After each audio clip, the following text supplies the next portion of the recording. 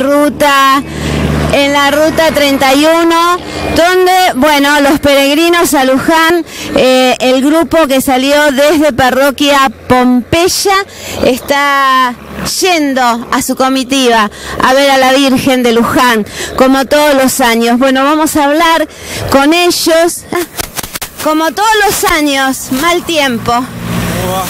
Como todos los años, buenos mal días. tiempo. ¿Querés que Sí, no, no, no nos viene acompañando últimamente el tiempo, justo estas fechas son lluviosas. Sí, bueno, ¿cómo están? Muy bien, por ahora. Bueno. Hola, llevando la, la cruz. Sí, sí, ¿Eh? el primer año. ¿La primera vez? Bueno, ¿hubo preparación? No, la verdad no. No, no hubo preparación. Bueno, hola, llevando a la Virgen, ¿no? Sí, sí. ¡Qué emoción! Emoción. La llegada es más linda. La, la llegada, ¿es la primera vez que va? No, yo hace nueve años con este. Nueve años. Nueve años con este. ¿Y hay preparación este año? Y yo no tuve mucha, pero sí. Pero sí, sí. sí, vamos a llegar, vamos a llegar. Bueno, van a llegar, claro que sí, ¿eh? ¿Por qué van ustedes? A ver, ¿por qué van? Y ella me viene a acompañar a mí, es mi hija. Es tu hija. Sí. Y vamos por distintas cosas. ¿Se le va a pedir a la Virgen o agradecer? Eh, a pedir y agradecer.